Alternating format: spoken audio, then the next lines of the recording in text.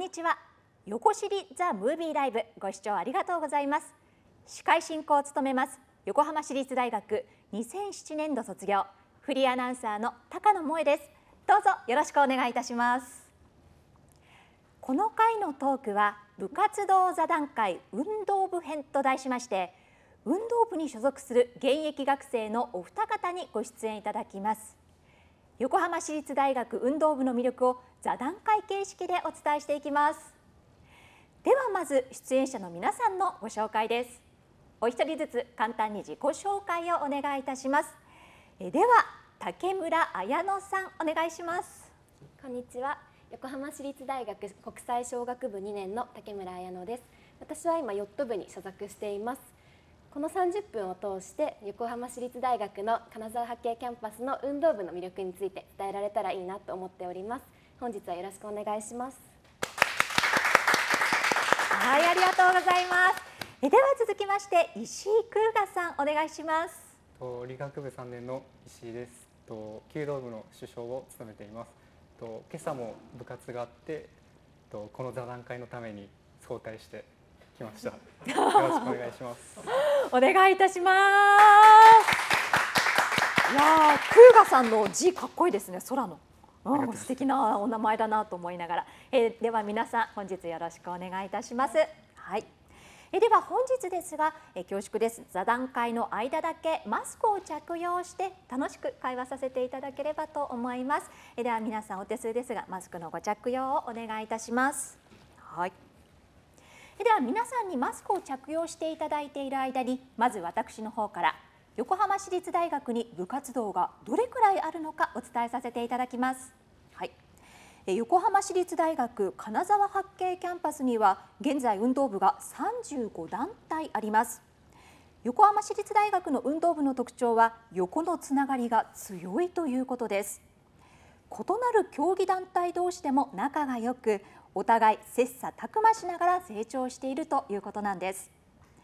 また海から近い金沢八景にキャンパスがありますので海で活動を行っています。はい、サップ部やウィンドサーフィン部そしてヨット部などがあることも横浜市立大学の運動部の特徴です、はい、ウィンドサーフィン部は去年の2021年度に全日本学生ボードセーリング選手権に3名出場する結果を残しましたさらにオリエンテーリング部はえオリエンテーリング部がジュニア世界オリエンテーリング世界選手権大会に出場しているなどコロナ禍であってもそれぞれ目標に向かって活動しているということなんですね。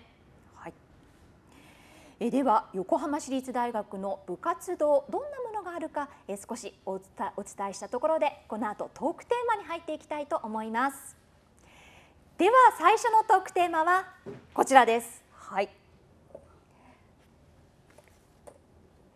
高校生の時と同じ部活そして違う部活というご質問です。はい、皆さんは高校生の時と同じ部活に入られているのかそれとも全く別の部活に入っているのかというところです。あの大学にしかなかなかない部活動あったりすると思うので伺っていきたいと思います。では竹村さんから聞いていきましょういかがでしょうか？そうですね私はあの高校生の時はダンス部に所属してまして今はヨット部に先ほど述べたようにヨット部に所属しているので全然種類の違う部活に入ったことになりますね。でなんか大学生になって新しいスポーツを始めたいなってなった時にやっぱり初心者が多くいる部活の方がいいなっていうふうに始めやすいなと思ったので、まあ、マリンスポーツの中でもヨット部選びました。うんうんうんうん。あのマリンスポーツに絞ったっていうのはどうどういう？あそうですね。なんかやっぱり部活って考えた考えた時にやっぱりバスケとかバレーとかなんかまあいろいろそういう球技とかもあると思うんですけど多分なんか結構バレーボールとかやったことないのを大学で始めるのってすごいハードルが高いと思うんですね。なんかマリンスポーツだったらやっぱ初心者がすごい多いかなと思ったのでそうですねやっぱり初心者初心者の周りの同じスタートが一緒の仲間と一緒に成長できるかなっていう意味でマリンスポーツを選びました。はい、なるほど。ごめんなさい、もう一度、えっと高校時代は何部ってダンス部です。ダンス部。はい。ダンスからヨット部。はい。どちらも非常にアクティブですね。そうですか、そうですか。あの実際入られて、はいもう初心者でどうでした？あーでも周りが結構もう初心者だらけなのでもうなんかみんなで一緒に成長するみたいな感じでもうみんなでなんかここはさっきのはさっきのプレーはどうだったよね？みたいな感じで一緒に話し合って成長し合ってみたいな感じでやっぱ初心みんながスタートラインが一緒っていうのがすごい良かったですね。えでは石井さんは違う部活それとも同じ部活とどうでしょ僕は高校の頃に弓道部に所属していてと大学でも弓道部に所属していますと大学に入って何か新しいことを始めようっていうよりはやっぱり高校でなんだろう追求することのできなかった部分を追求していきたいなっていう思いが強かったので大学でも続けています。ああもう本当様々ですね。一つのものを貫く感じと違うものをやってみたいっていう感じ。石井さんはこの横市のその弓道部どうですか？今までもやっていたけれども、横浜市立大学の弓道部入ってみて。そうですね。やっぱり一番大きいのはと高校ではと大会とかの目標に向かってとみんなで練習を頑張っていくとかいう感じの方針だったんですけど横浜市立大学の弓道部では、えっと、そのさらにもっと上を行った根本的な部分ですね、えっと、何のために弓を引くのかとか。そういうことを日々考えさせられていて、えっと、なんですかね部活っていうよりは修練っていう言葉の方が近いかもしれないです。それは何か先輩からのこのアドバイスとかお言葉ですか？それともご自身がやっていく中ではい、感じたんですか？そうですね。師範の方がいらっしゃってまた先輩とかもそういうのを代々受け継いでいるので僕にも受け継がれたのかなとは思います。うんうんうんうん。なので高校の時と大学の時と同じスポーツをされてても感じ方はだいぶ変わったって感じですか、全く違います。ね。ああそうですか。今何年生でいらっしゃるの今3年生です。3年生ですか、高校も3年間。はい、じゃあ6年間ですか？弓道は。そうですね。はい。ああそうですか。ご自身のこの変化っていうのはどんなところに生きてますか、変化ですか？ん、もうもう見た目ですかね。見た目？見た目っていうか 弓を引いている姿ですかね、立ち振る舞いとかもう全てが変わったと思いますそうですか。うんうんうんうん。まあ高校時代に基礎を築きつつじゃあ、はい。メンタルも精神的な部分もっていうことなんですね。そうですか。どうでしょう？あの弓道部一貫して弓道やってらっしゃるってことなんですが、はい。初めて初心者で入った方も多いですか、はい。そうですね。正直なところ初心者の方が僕は有利だと思っていておなぜ？と経験者ってやっぱり間違ったものを覚えてしまっててとここで始めた時に学ぶってなった時にとすでに持っているものを手放さないと新しいことが学べない感じなのでやっぱり。そうですね。すでにっていうか何も持ってない状態の初心者の方がすっと学びたいことをつかみ取れる。そう思います。あそうですか。じゃあそれでちょっと少しねあ癖がついてたなとか思う部分もあるんですかね。そうですかそうですか。他の部活って結構どんな部活があるかっていうのをぜひ伺いたいんですがじゃあ 竹村さんいかがでしょ他の部活あ運動部ですね。うん。基本的に多分皆さんが多分高校時代にあった部活は多分大体あるかなと思います。例えばバスケとかバレーとかサッカーとか、まあ、多分野球とかそこら辺のも大体ありますし、まあ、それに加えて先ほど多分大学特有のと言っておっしゃったあの言わせていただいたマリンスポーツの3つとかそうですね。あと特徴的なあとまあダンスあでもサークルかな。でもとにかく結構たくさんいろいろありますね。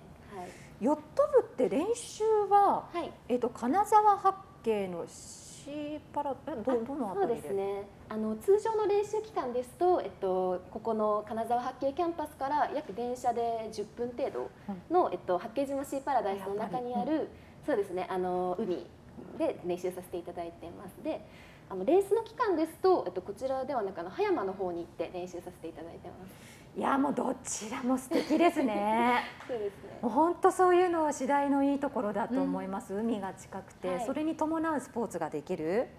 今おっしゃったマリンスポーツ他の、えっと、サップ部とかウィンドサーフィン部の様子とかも、まあ、ちょっと近くで、ね、感じることあると思うんですが皆さんの様子ってどうですか？もうここだからできるスポーツみたいなとこ皆さんの様子。ああそうですね。やっぱりあのなんかあの八景島あのこれちょっとヨット部の話になっちゃうんですけど、なんか八景島での海までわざわざあの東京とかの大学からわざわざもう何時間もかけてあの土土日に毎朝朝早くに来てる方とかもいてでもその分私たちあの八景八景キャンパスに通ってる私たちは本当にすぐもう学校とか家から本当にすぐ近くに活動場所があるので特に何のストレスもなく多分それはウィンドサーフィンも、まあ、ヨット以外も多分サップとかも多分同じだと思うんですけどやっぱり海が近くっていう環境が本当に恵まれてるなというふうに感じます。ろあのそれ以外あの通常のねサッカーとかバスケとかあとマリンスポーツいろいろあるよってことなんですがえでは石井さん大学生ならではでこんなのもあるよとかもしあれば運動部。申し訳ないんですけど僕は弓道一筋なので。あんまりわからないいいですすでかね。ね。いいですね。じゃあ伺いたいんですが、初心者で入った方って例えば試合に出られるか心配とかはいあると思うんですよ。大学から新しいスポーツ始めて。はいうん。でも大学入ったらいろいろやってみたいしって高校生の方も多いと思うんですね。うんそのあたりどう感じますか？うんうん結構ねあのなんていうんですかねメンバーはい争いみたいなのとかあるとそうで思うんですす。部活入ると、ぱり部活なのでそれは争いは生じてしまうんですけどそこをうまく折り合いをつけるのが首相の仕事なのかなとか思ったすいまりもしますね。せんすいません そうでしたか。ご自身結構教えること多いですか？そうですねやっぱり3年生になると幹部として運営していかなければならないので、とそうですね教えることが多いですかね。うんうんうんうんうんあのこの横浜市立大学の運動部の雰囲気特徴他の大学とは違うよっていうのはどんなところでしょうか？竹村さん。あ先ほど多分おっしゃられてたように多分横のつながりが強いっていうのは結構多分すごい私も実感してまして、まあ、例えばヨットとウィンドサーフィンとかだったら全然まあ種類は違うけど、まあ、海のマリンスポーツなので、まあ、やっぱあの例えば新入生歓迎会の前とか、まあ、例えばあのウィンドサーフィンの人とそのなんか例えばウィンドサーフィン部はどういう新刊やるのみたいな感じでやっぱ意見を共有し合ったりとか結構そういう感じでなんか他の部活であっても全然すごい仲良く一緒に頑張ってるなという印象はありますね。なるほどね。確かにそうですよね。あの他の回でもちょっとお話ししたんですが私別に部活動入ってなかったんですが体育の授業の一環で、はい。えー、とウィンドサーフィンとヨットやりました。それはちょっと集中講義だったんです、うん。夏休み中の。あの花火まで一緒にしました。本当にね部活の皆さんに部の皆さんが教えに来てくださって我々教えてもらって最後バーベキューと花火までするといういう感じなんですよね。あの今やってるかわかんないですけれどもなんかそういうアットホームさとかつながりがあるとかいうところは横市のいいところなのかなという感じですね。はい。えではあちなみにヨット部って今何人ぐらいですか？今、えっと、大体10人弱ですね。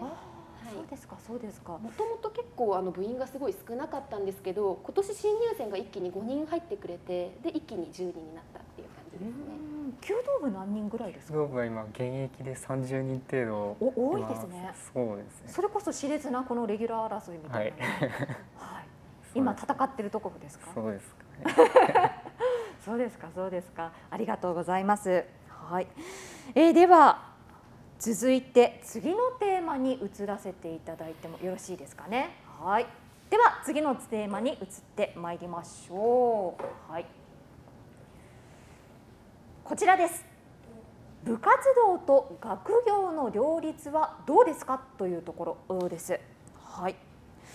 えー、と皆さんそれぞれ勉強大変だと思うんです課題だったりとか、はい、その中でどうやって両立しているのあるいはもしアルバイトとかされてたらその辺あたりも含めて教えていただきたいんですがいかがでしょうか？ではまず竹村さん教えてください、はい。えっと、私ヨット部なんですけど私の部活ではだいたい活動が週に2回であの休日を使ってやっているので平日の時間はまるまる自分の時間に当てることができます。なのでその間に例えばまあ課題とかをこのこの日にまとめてやろうとか決めたりとかアルバイトとかも私もアルバイトやってるんですけど、まあ、実際にその平日に結構アルバイトをぎっしり詰めたりなどで結構もう全部両立はできてるなっていう印象があってでなんか結構あの部活の日に授業とかゼミが入っちゃうこともあるんですけどやっぱそこは学業を優先にしてくれるのでお勉強の方をあの優先して結構頑張ることができています。うんうんうんうん、石井さんいかがですか？両立というところです。そうですね僕自身も怪しい気はするんですけど弓道部の部活って、えっと、合同での練習が、えっと、週3回あってでやっぱり合同稽古の週3回だとどうしても練習が足りなくってもう一日もう一日って言って増えてちゃっててでぶっちゃけた話学業との両立はと、まあ、難しいんですけどやらざるを得ないっていうか 排水のシーンですかね。ごめんなさい石井さん今週何で練習されてる？週5ぐらいですかね。週5。あとの2日間は？あとの2日間はバイトもしてるので、はい、と完全なフリーな一日はない感じですかね。部活は平日の夕方からですか？はい。あそうですか。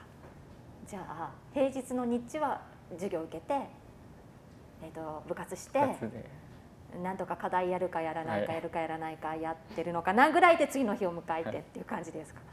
忙しいですね。そうですか、そうですか。はい、ちょっとねご質問いただいているのであのぜひ初めましてヨットは大学で持ってるんですかっていうことです。そうですね。結構やっぱ自分で買うっていうのはもうちょっとすごい高いので不可能に近いのでもうヨットは大学が持ってるものをそのままお借りされお借りさせていただいて乗っております。今年あれですもんね人数増えたっておっしゃってたんですそう、ね、だからあヨットあるんだと思ったんですはい、そうですね。結構、うん、でももうなんか人数が多分これ以上増えていったらまた多分新しいのを買ってもう買っていただくかどうかっていうことに多分なってくると思います、交渉ですねそこはね。そうです。かそうですか。あえっと、まさにアルバイトの話ちょっとあったんですが部活に入りたいんですがアルバイトもできますか？というご質問です。お二方ともアルバイトしてるってことですよね、はいえっと、竹村さんは平日アルバイトとおっしゃったんですそうですね。基本は平日なんですけど、まあ、時々土日の部活が終わった後とかに夜あのバイトをやったりとかも結構バイトはぎっしりやってます。そのバイト部活、はい、勉強されてて、はい、大変だなとかい。う時、はい、どんな時ありますか？あやっぱりテスト前とかは結構きついですね。もう。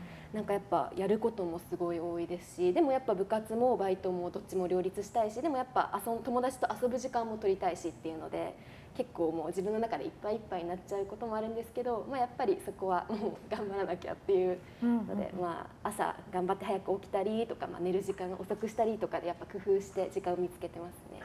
なるほど。まさに工夫ポイントを伺いたかったんですが、はい、そこはもう朝早く起きる、夜ちょっと頑張って遅くまでやるっていうその時間の調整ってところですか、はい、そうですね。あとはやっぱ電車で移動してる間にやっぱなんか例えばテストだったら暗記するものとか多分あると思うので、まあ、通学中に暗記するものを暗記したりとかまあそうですね。結構隙間時間を結構使うっていうのが結構ポイントだと思います。なるほど、はい。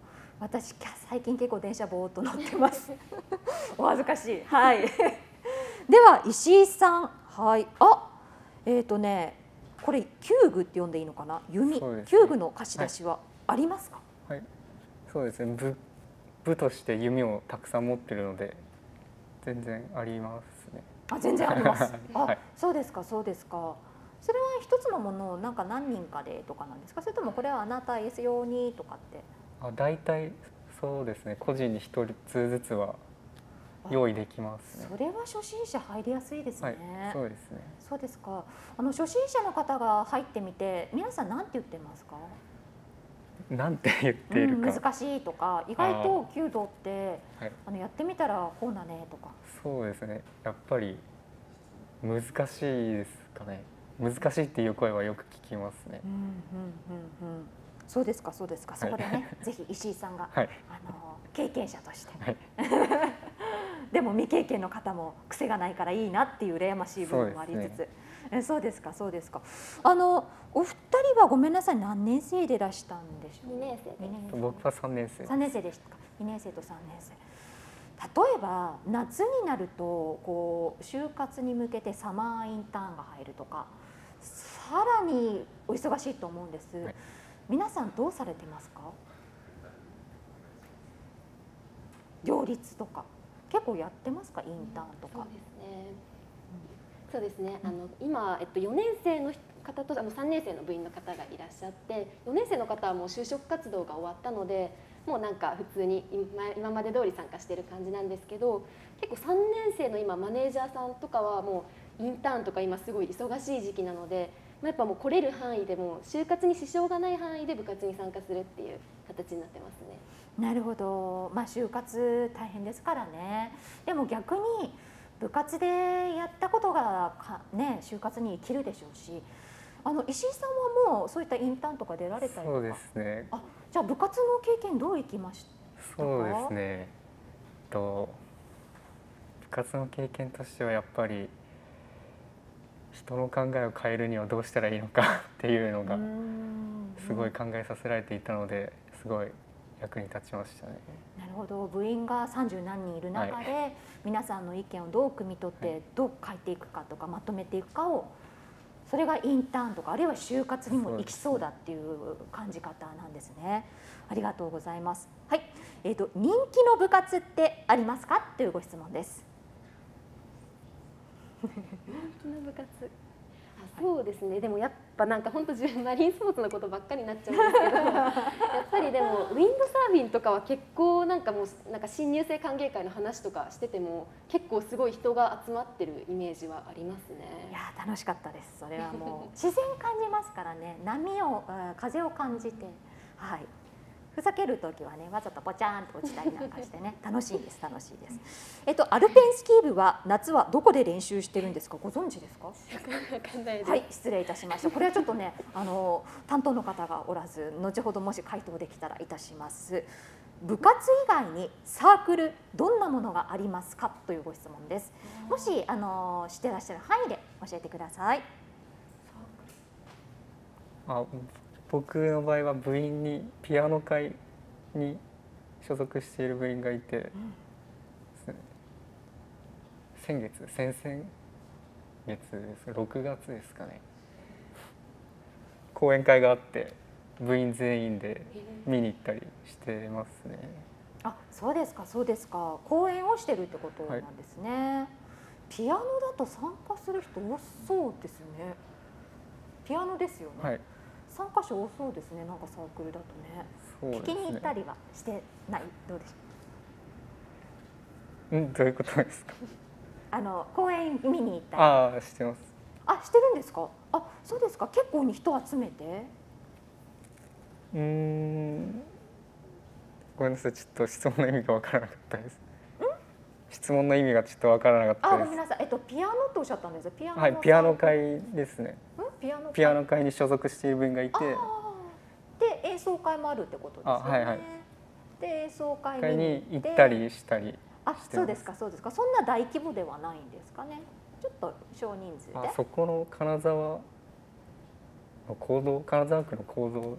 あでも結構しっかりとしたとこ使って、あそうですかじゃあ竹村さんもし何か知ってるこの、はい。こんな面白いサークルがあるよっていうのあれば。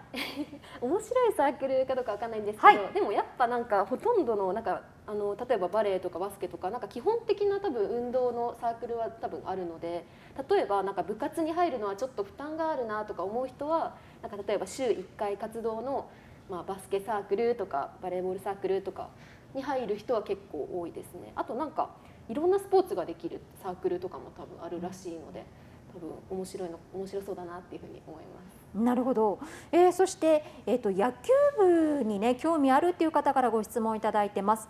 マネージャーとかってありますかっていうことなんですがそれぞれの部ではマネージャーいらっしゃいますそうかですねいます。ほうほう僕はいないですあね。弓道部いないんですね、はい。三十何人で、はい、じゃあもう結構ご自身の管理は自分でそうですね。あそうですか。ヨット部だとマネージャーさんは何人ぐらい？今今3人いてそうですね。2人が3年生の方とあとなんかプレイヤーやってたけどマネージャーになったっていう子も中にはいます。あそうですか、はい。そうですか。うんうんうんうん。ね、マネージャーっていうところにも興味あるんですね。今ね学生さんからのコメントですけれども。そしてあの先ほどアルペンスキーのご質問いただいたんですが体育会スキー部女子アルペンスキーの部優勝おめでとうございますということで、えそこが優勝したからぜひその練習場所知りたいってことだったんですね。ありがとうございます。あの卒業生ですけど。ありがとうございます。はい、うん。あーでも結構皆さん部活に対するご質問結構いただいてますね。やっぱりこの学業と月部活って考える方多いんでしょうね。うんうんうんうん、さあさあではあの竹村さんは大学で運動部ヨット部でもいいですし運動部でもいいですし入ってよかったな。あるいはもう横一っていうくくりでもいいんですけど横一あるいはヨット部運動部。入ってよかったっていうのどんなところですか？そうですね、まあ、なんかまず横市からになるんですけど、まあ、横市はやっぱ結構私高校1年生の頃から入りたいなって思ってて入学した大学だったので。そうですね。やっぱ入学が決まった時はすごい嬉しくて。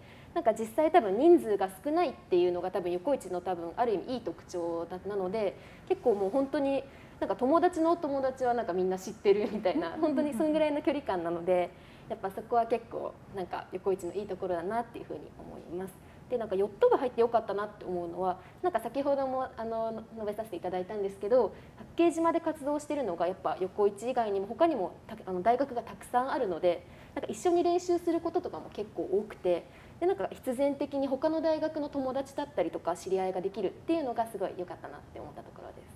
ありがとうございます。そうなんかヨットのところ行くと、なんとか大学なんとか大学っていっぱい看板があるんですよね。はいなんか学内でも学外でもつながりができていい部だなと思ってました。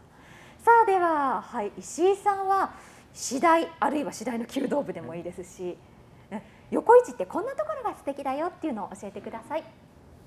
そうですね。次第の弓道部に入ってやっぱり弓道をと生涯にわたって続けられるっていうなんだろう